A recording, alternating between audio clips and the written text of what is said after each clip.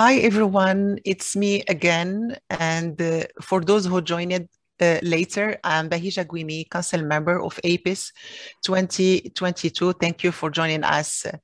The purpose of this session is to discuss co-creating digital solution with healthcare consumers. As you may know, digital health has an important role to play in reducing the, the, the, the burden of healthcare system across the world uh, as it enables uh, wider access to healthcare solutions that should be patient-centered. I had the opportunity to participate uh, uh, to this to the APPIS pre-summit workshop about patient engagement in development of digital health solution with innovator, patient leaders, and members of uh, uh health industry. Today, we will discuss how to co-create patient-centric digital tools to improve patients' uh, uh, outcomes by sharing three personas and validate the pre-summit workshop learning. It's supposed to be an interactive and engaging session meaning they are going to have some polls to be sure to have two-way communication. For the post-summit, we are preparing also a recommendation report thanks to the efforts of all partners to recommend key principles and methodologies that guide the meaningful co-creation of patient-centric digital solution. So let's start. I will share with you the first persona, the story of Esther. Esther is a 42 years old uh, uh, working mother for Northern Africa, recently diagnosed with uh, uh hormone receptor positive, HER2 uh, negative breast cancer. And while diagnosed early in the progression of the disease, Esther is already thinking about her family and her career uh, and the effects treatments will have on them. As she is a uh, uh, specialist in a nearby public hospital. Esther is familiar with technology, but aside, aside from uh, what her 12 and 14 years old daughter share with her, uh, has no social media accounts on her own. Now, uh, uh, the question is, next please.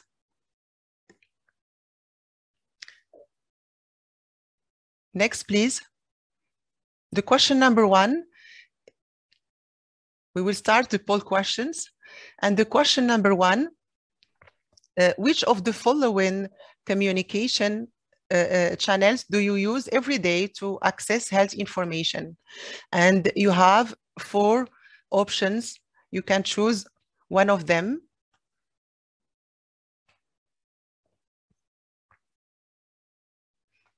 You can scan also the QR code to have the possibility to answer. and uh, of course, use your language, your own language. Still have five seconds to collect answers.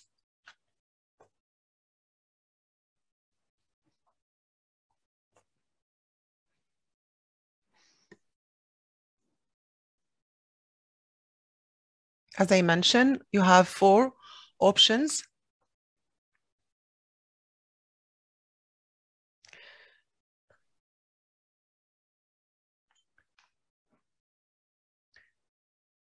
Great. Uh, I will I will continue the persona of uh, Esther. Esther, accompanied uh, by her husband, uh, ha have met twice with her primary care physician and once with her oncologists to have an initial discussion about baseline labs, potential treatment plans, and what the next six months will look like for her and her family. However, Esther remains unsure and worried about her treatment plan and feels disconnected from her oncologist.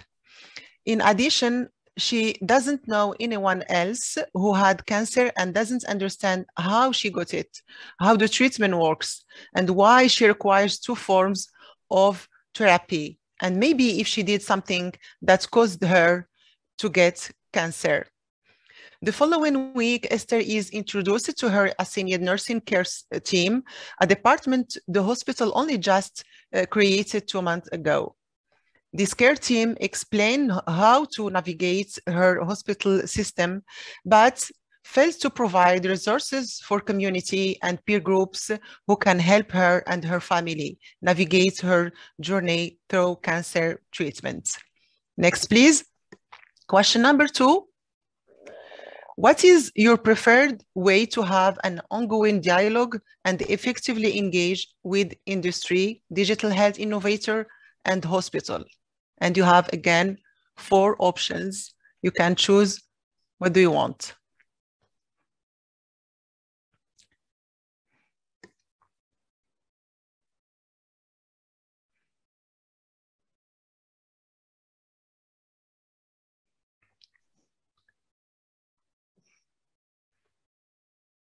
Well, next, please.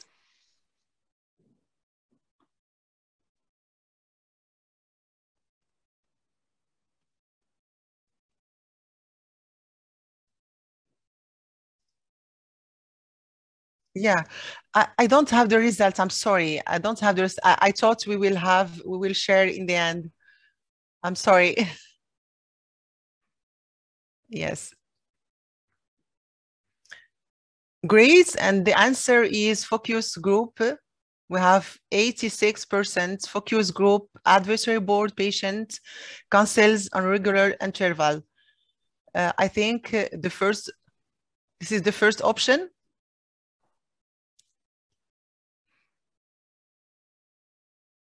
I'm sorry, this is B.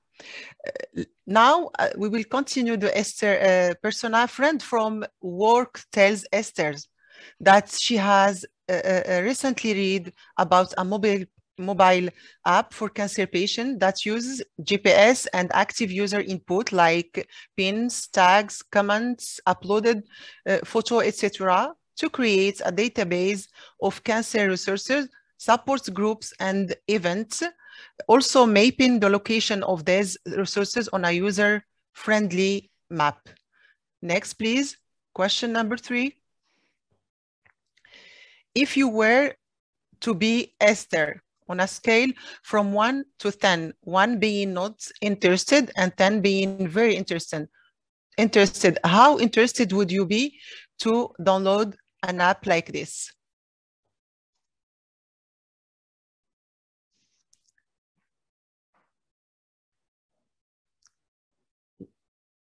Yes. Yes, uh, more more time for you to to answer? Okay.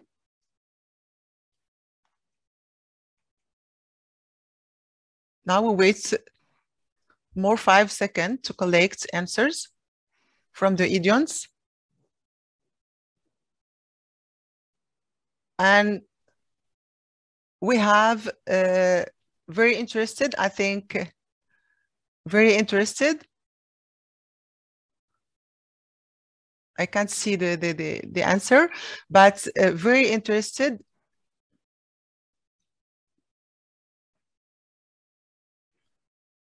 I think 29%. Uh, and we can guess, very interesting. Let's continue uh, Esther's stories. Uh, story, uh, Esther's friend read about this app because they are now in the debated phase for testing uh, a future where cancer champions, survivors, and advocates can safely submit their own information. Location at a coffee shop, time and place of a cancer awareness event, live video streaming, etc.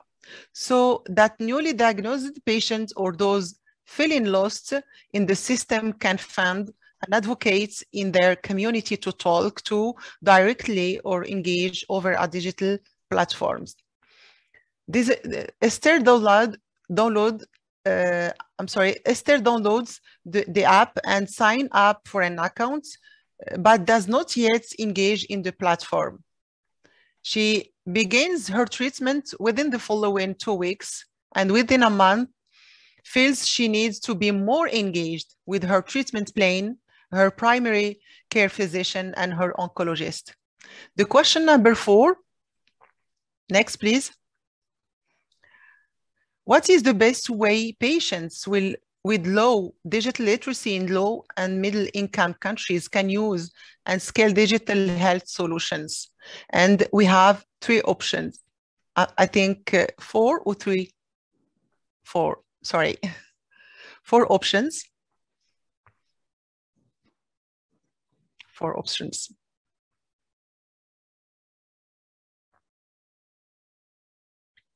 And please choose your answer We'll give you more five seconds to be sure to collect answers from your from, from the audience. And a few seconds, the results will appear.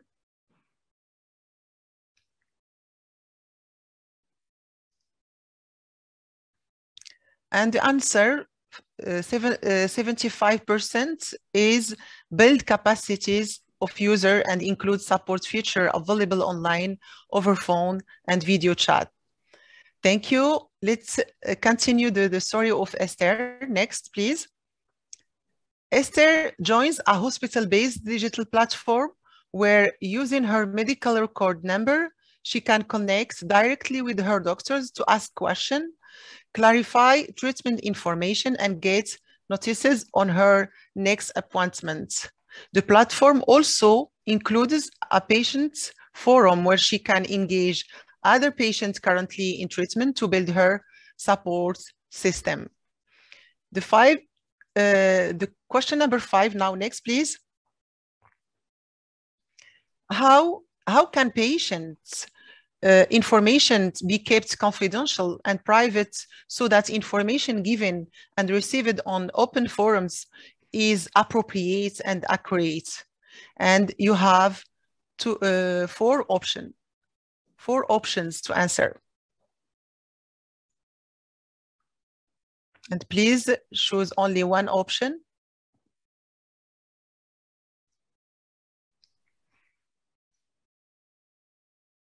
Now the agency is collecting answers and the results will appear on the screen in a few seconds.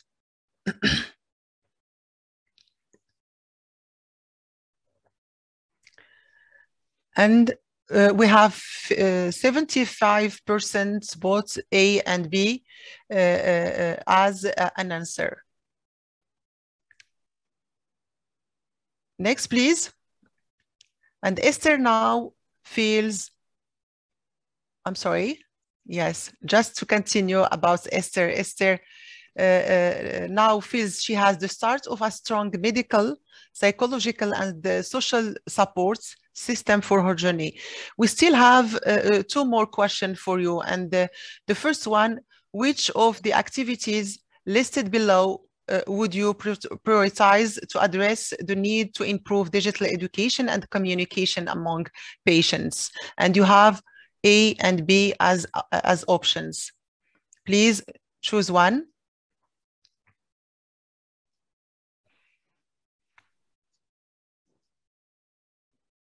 Give you some time to answer, and then we can collect results. You have option A and option B.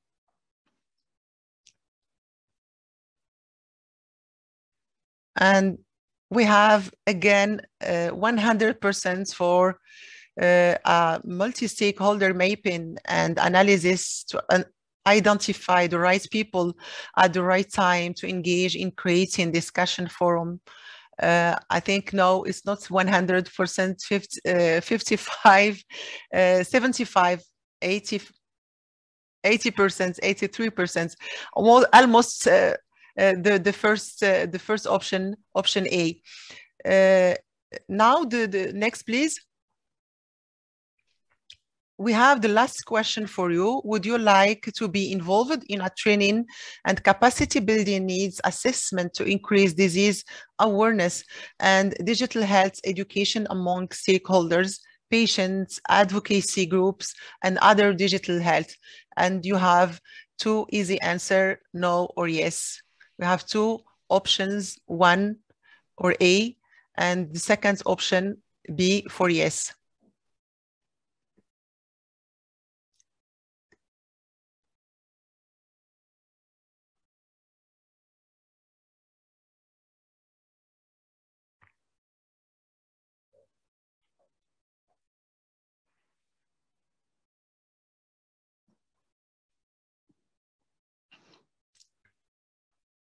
And the answer, I think this is the final answer now.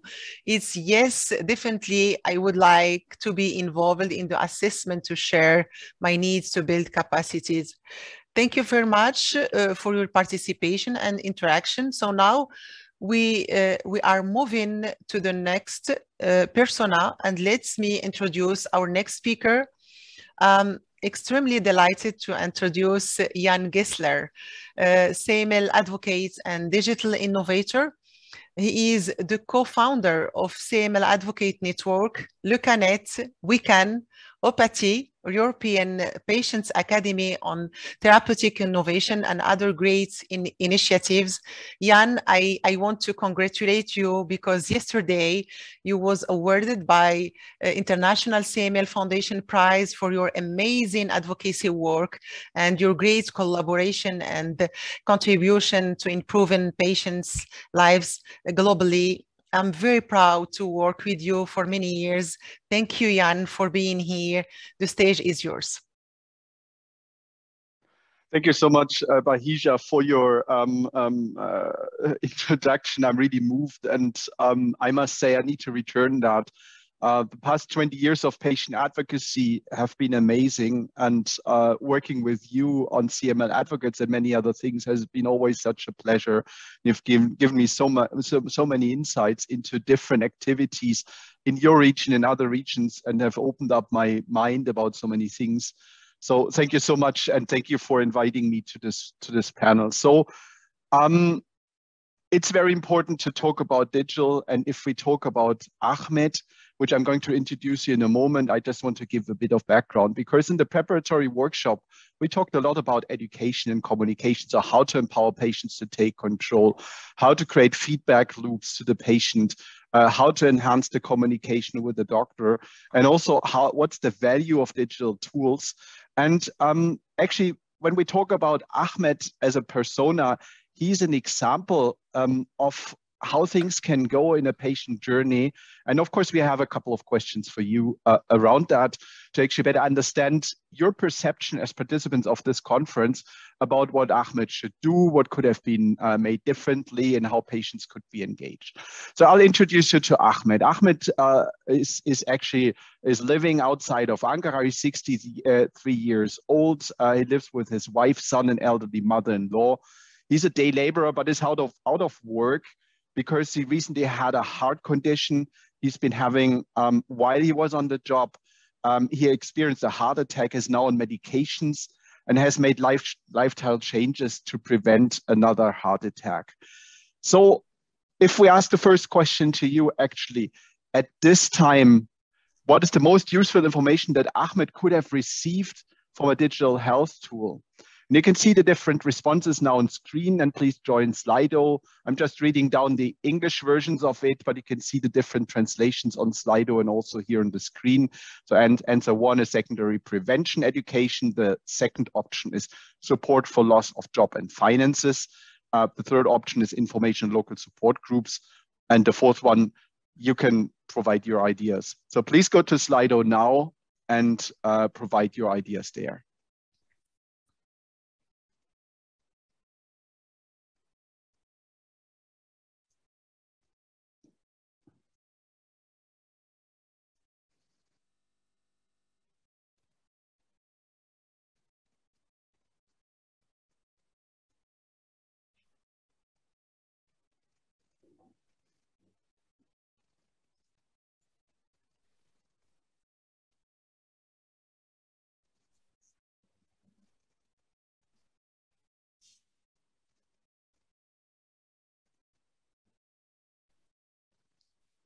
Okay, can we see the results for a moment? Oh, very good. It's good to see that there's uh, different opinions about what is probably most useful information Ahmed could have received. Um, thank you so much for that. And I'm going to move on. So at the moment, he's being seen as an outpatient by a cardiovascular physician at a public hospital about 40 kilometers away from where he lives. To lessen the number of trips he has to make to the hospital, he's been given a remote heart, heart monitoring device and has been instructed to wear it now after he has been experiencing uh, a heart attack last year. So now another question to you. Where should patients and advocacy groups be involved in the digital health tool so that the right information can be provided to the cardiovascular physician and to the patient's entire medical team? You can see the different options here again, which is actually five options. It's um, uh, which information can be provided, design, development, testing, data analysis, and impact assessment. So I'll give you some time to respond to this question.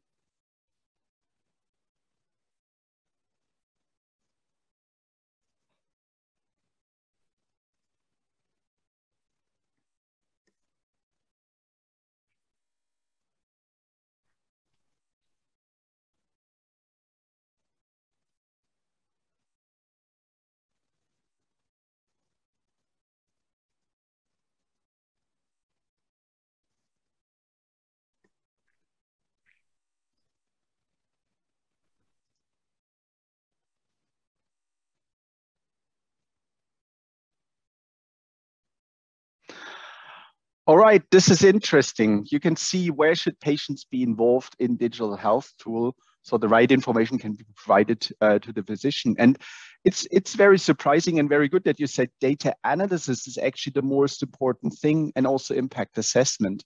Because when we have these kind of digital tools, one thing is the data and the other thing is how to interpret that and how can how can the physician see the context of the data provided it's by patients being involved in analyzing the data that the solution provides, but also the impact assessment. So what impact does it have to have that heart monitor or digital solution like that um, on the course and the journey of the patient? So thank you so much for, for that. And I don't want to downvalue testing and design, uh, but thank you so much for your, for your thoughts about that. So now continuing with the story of of Ahmed. Uh, actually, after um, uh, while talking to his wife, um, Ahmed reflects on the positive and negative experiences he had since his heart attack. When he was discharged from the hospital last year, he was given a follow-up appointment with a private clinic because this location was the only place that had availability within the frame uh, time frame he actually needed in his condition. However, this clinician spent less than five minutes talking to, to him and quickly moved on to his next patient. So now let's think again about digital tools. So the next, next question to you.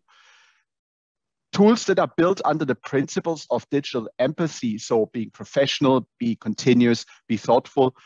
A single digital health solution that Ahmed is able to use could improve his experience as a recovering uh, patient with a cardiovascular disease. Which one of the evidence, which one of the evidence-based strategies would you recommend to digital health innovators for low income, low digital literacy, recovering cardiovascular disease patients at the topmost priority? And again, you have four different options to respond to that, engaging the patients, entrusting, encouraging, empowering. So what's the right um, uh, what, what's the right answer to that from your perspective? And there's a second question in the same uh, Slido poll, which says, would you want to want the opportunity to validate this evidence-based information? Yes or no? So please go to Slido now and respond to those questions.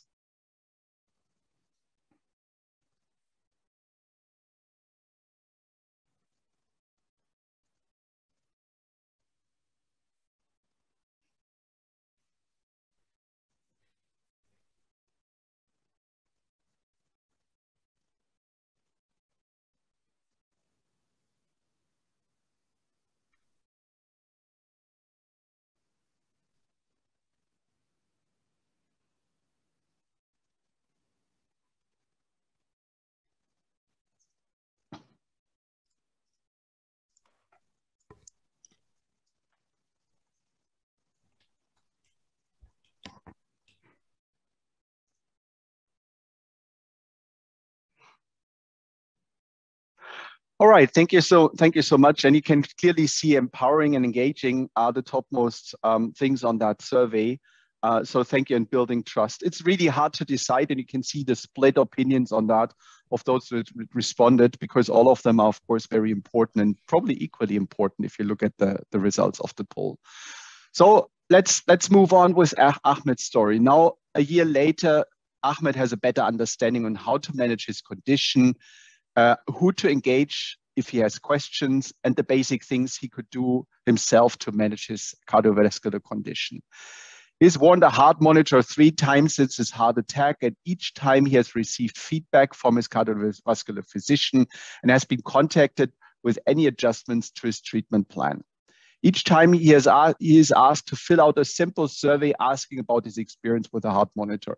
He has filled out the survey thoughtfully each time.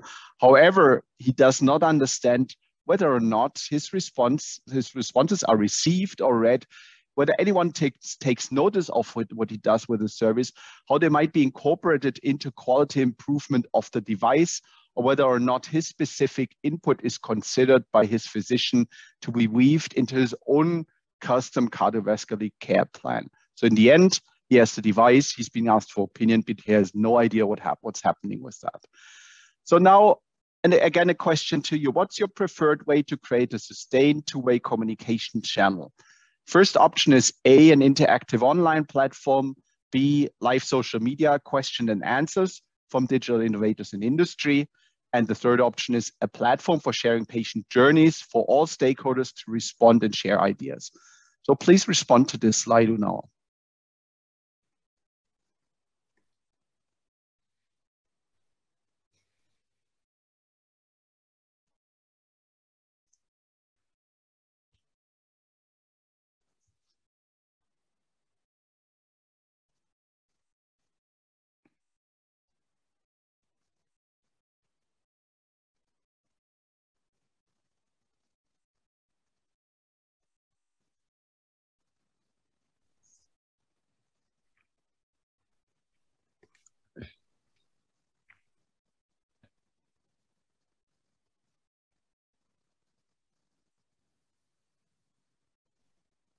Okay, very good. I can see your responses, um, and you're very clear about a platform sharing patient journeys for all stakeholders to respond and share is at the moment the top runner, but you can still continue to respond to that interactive online platform. So platforms seem to be the key thing for you, and thank you for that kind of input. So now moving on, um, he um, Ahmed actually decides to schedule an appointment with his cardiovascular physician to review, review the results of the heart monitor that he's been wearing for a time. He discussed his symptoms, his energy level, and how he feels like a burden to the family. Um, his physician, who lives uh, with a cardiovascular disease himself, takes into account Ahmed's situation and thoughts and begins to weave him his own with him his own uh, experiences both as a patient and a doctor. He realizes he cannot address all of ahmed's concerns but does his best to encourage him to keep doing his best. So now the final question to you actually. In the development of a digital health tool should patients lead the way in that development? The very simple yes or no question this time. So please go to slido and think whether patients should lead the way or whether whether others should actually take the lead because they might be the experts in developing such a solution. So please respond now.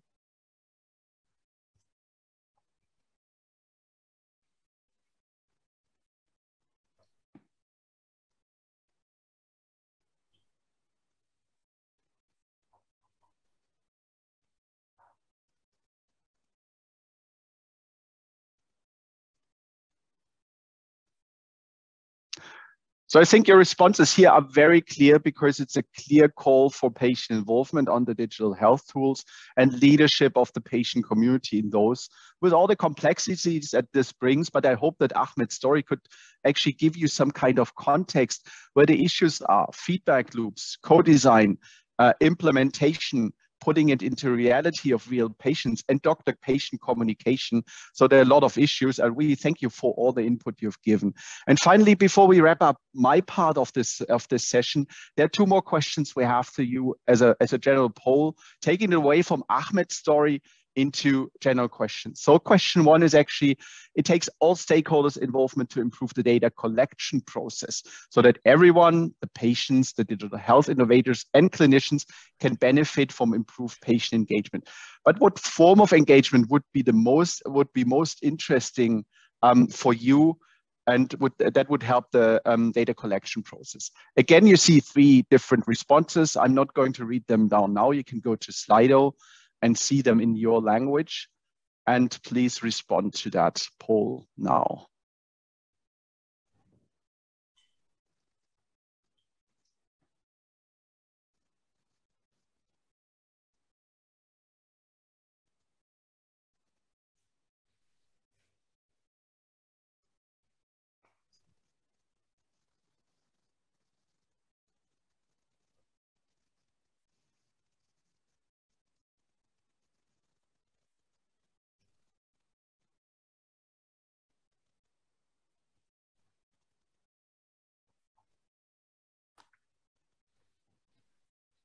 So I'm really curious what we're going to have as results here. So can we see the results?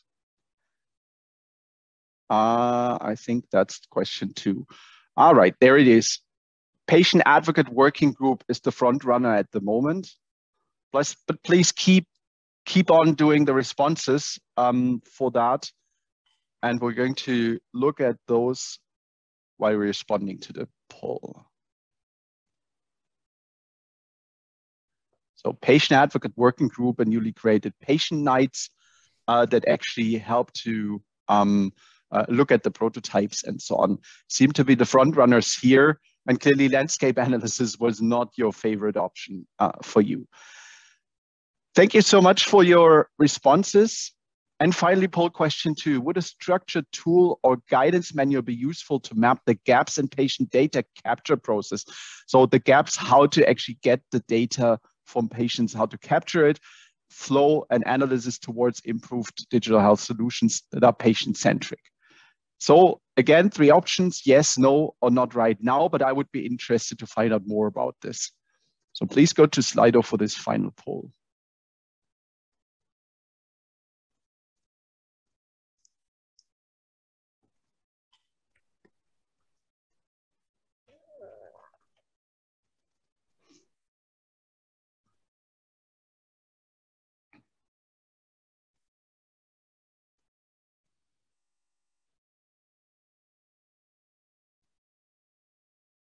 Okay, can we bring up the results, please?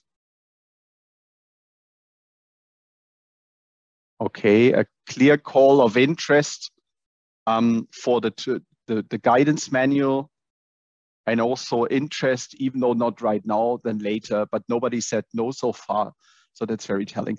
Thank you so much for engaging on Ahmed. And now actually it's my job to hand over to Adam Chee. Thank you so much for listening to this part of the presentation and for all your input. Now, Adam, um, the floor is yours. Thank you so much. Thank you, Jan. Hello, ladies and gentlemen.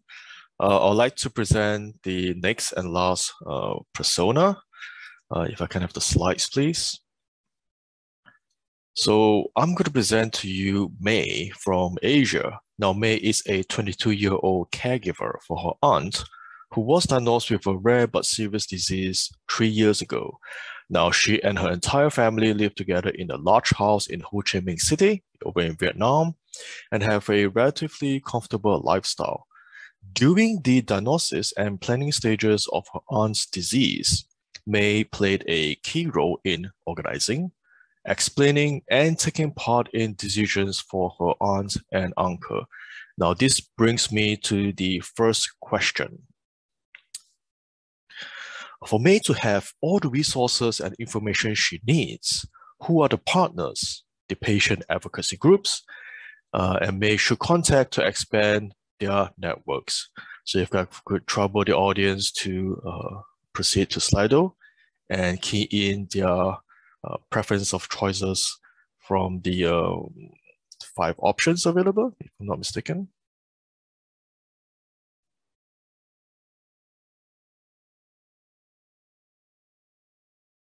Sorry, four options. So policymakers, industry, other patient groups, or others where you can specify uh, your input.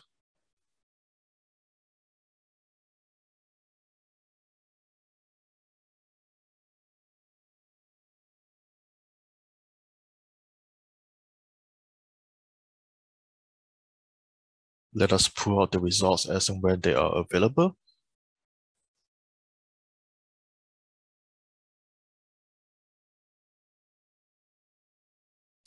Uh, so we have a clear indication that uh, the preferences for other patients group. I'm going to continue on to persona. Um, as her aunt's conditions worsened, she also became a physical caretaker and helped her aunt get around town and complete her errands. Now, May is digitally savvy and engaged early in online platforms and research tools that may help her and her aunt and uncle in the disease journey.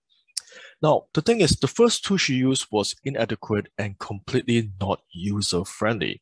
So what May did is contact the developer as well as the patient advocacy group she was connected to and submitted some feedbacks based on both her experience as a digital entrepreneur as well as a caregiver. This brings to my second question uh, which is product development cycles are long and there is a lack of patient participation in health policy discussions to evaluate new technologies. Which one is the most practical and useful way for patients and advocates to be involved in lobbying policymakers to change policies? Please kindly select the option that resonates most to you which would be a direct communication with policymakers and relevant stakeholders, B, organizations of multiple events, awards, or flash mobs, and participation in relevant meetings, or it could be C, the use of social media, D, the establishment of links with networks, E, participation in projects and campaigns, or F, where you can input uh, your answer. Let us wait for the uh, results as and when they are available.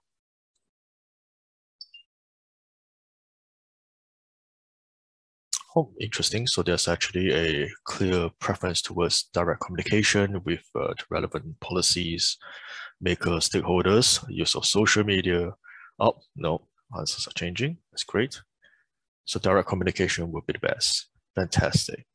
Uh, can I move on to the next part of the persona, please? Let me continue with the persona. Now, fast forward three years later, May has not seen any changes to the app uh, she used to use. And the thing is now she is a community activist advocating for the rights and voices of patients with rare disease. She meets with advocacy groups, speaks at local events, and writes letters to local, regional, and national health leaders in Vietnam, talking about the need needs to be changed in the health systems as well as the health policies. However, she wants to do more. Among her digital entrepreneur friends, May has heard of this concept known as the clinic, clinical clinician night, where digital innovators present their prototypes to clinicians for their feedback. This brings me to my next question. Can there be clinician and patient nights so the two can be considered uh, can consider the values and needs of both stakeholders. So can I trouble all of you to key in the answer that resonates most with you? It's either yes or a no.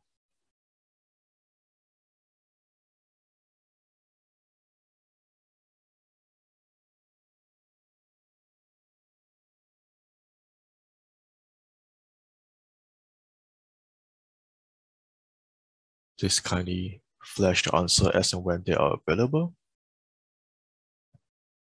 Oh, so there you go. Most of us do think that there can be a nice balance, or some some do have a, a different opinion. No worries.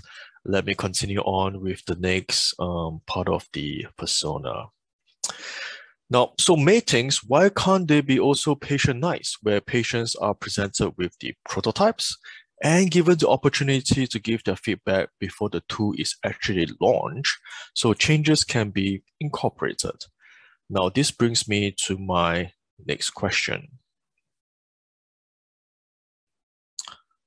On a scale from 1 to 10, where 1 being not valuable and 10 being extremely impactful, can patient nights, in your opinion, be used where digital innovators can consider the input of the patient in their digital uh, health solution?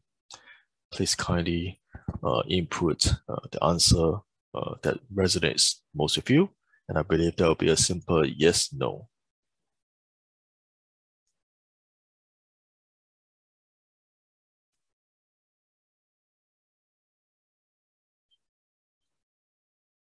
I can trouble the technical uh, support to flash the answer as and when they are available.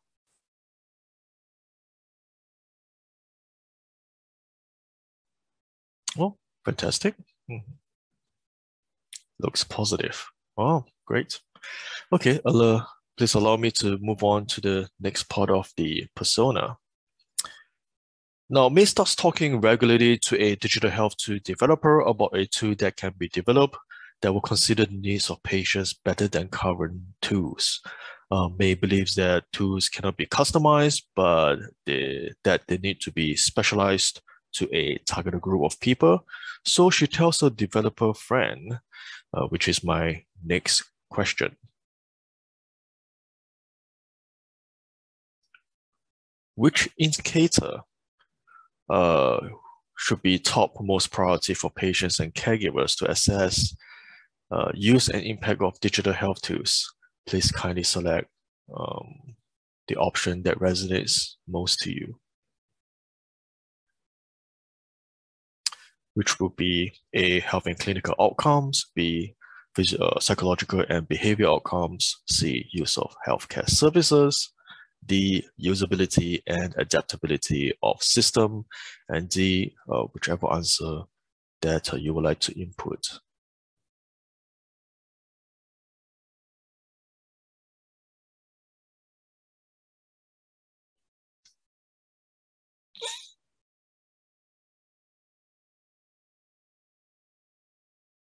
Uh, yes.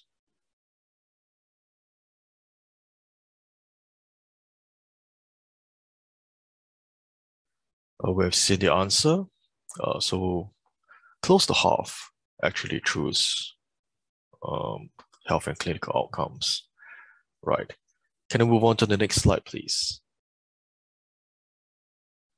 So the, the last question before we move on to the poll is, uh, for the audience, how useful would a structured way to guide and include impact measures for patients into a digital health tool uh, on a scale to 1 to 10, uh, in your opinion, with 1 being not valuable and 10 being very impactful?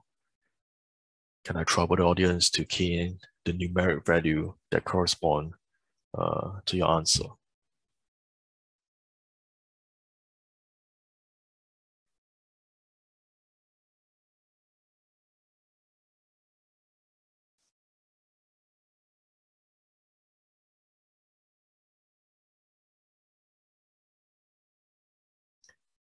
Can we pull out the answer uh, as and when they are available? Oh, so you can see a huge preference towards um, the higher aspects of the uh, value stream.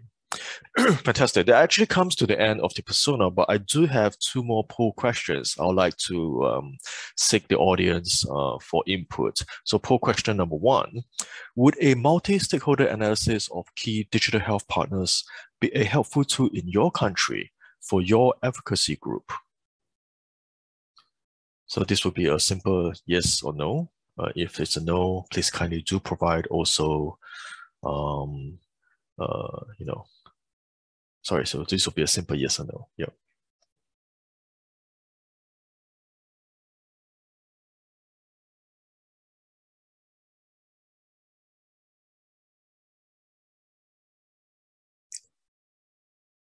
Similarly, let us pull the answers as and when they are available.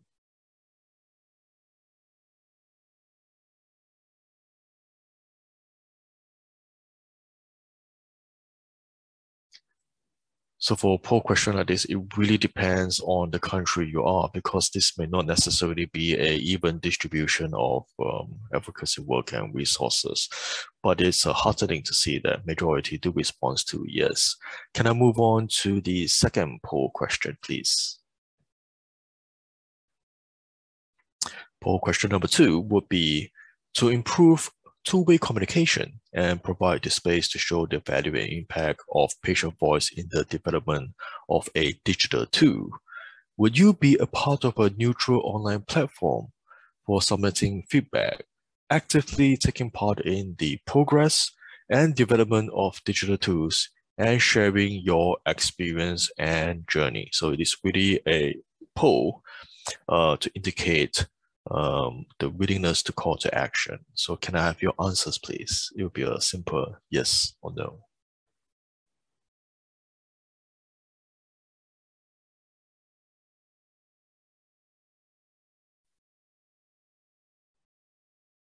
Yes, we still have time to do a Q&A session. No time for question? I don't know if Dio is here. Can we pull the answers as and when they're available? Also, this is great. You see a resounding 100%.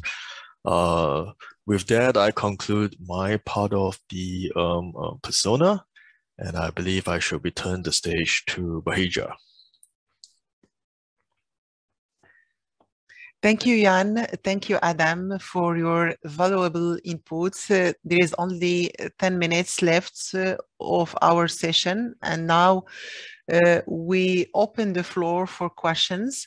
And I invite uh, I invite you uh, to to open the chat uh, box and you can post your question. We will try to answer the maximum we we we can. Great. I have a question for you, Adam. Uh, uh, thank you again for your presentation. Uh, and my question is, what is the, the biggest challenge of co-creating a patient-centric app? Uh, I think the biggest challenge is having everybody, all stakeholders involved, be it when you're a patient uh, or the on the other side of the pond developing uh, policies or the app, to clearly understand each other.